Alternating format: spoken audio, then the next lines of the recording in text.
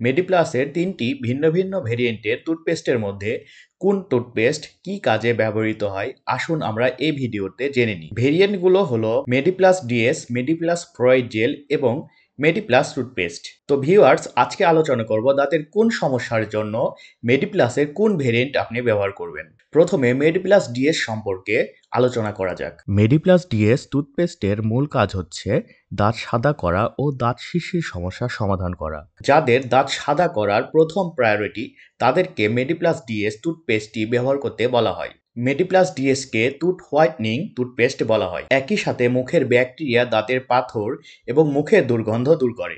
এরপর জানব Mediplus toothpaste সম্বন্ধে। মেডিপ্লাস টুথপেস্টের কাজ হচ্ছে দাঁত শিশির সমস্যার সমাধান করা দাঁতের গোড়া দিয়ে রক্ত পড়া রোধ করা মুখের দুর্গন্ধ রোধ করা এবং দাঁতের ক্যাভিটি রোধে বিশেষভাবে কাজ করে।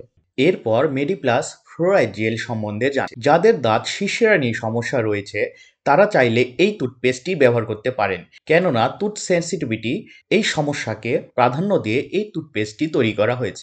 এই টুথপেস্ট মেনলি কিছু পার্টিকুলার বিষয়ের দিকে নজর রেখে তৈরি করা হয়েছে। যেমন ধরুন gastric ulcer patient pregnant women toothpaste মুখে নিলে যাদের বমি পায়, সকালে টুথপেস্ট দিয়ে দাঁত মাজার পর যাদের পেট ভরা লাগে, নাস্তা করতে পারেন। এই রকম পেশেন্টের জন্য এই টুথপেস্টটি তৈরি করা হয়েছে। যাদের এই ধরনের সমস্যা রয়েছে, তাদেরকে এই টুথপেস্ট ব্যবহার করতে বলা হয়। আশা করছি ভিডিওটা দেখে সঠিক ভেরিয়েন্টটি নির্বাচন করতে আপনাদের সহজ হবে। ভিডিওটি ভালো লাগলে অবশ্যই আমাদের চ্যানেলটি সাবস্ক্রাইব করে পাশে থাকা বেল বাটনটি অল করে দিবেন।